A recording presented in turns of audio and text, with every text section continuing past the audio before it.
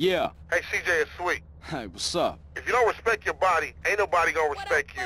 You're too skinny, CJ. You need to pack on some muscle. If I wanted nagging, I'll buy a clockwork wife. Just looking out for you, homie. It's all show and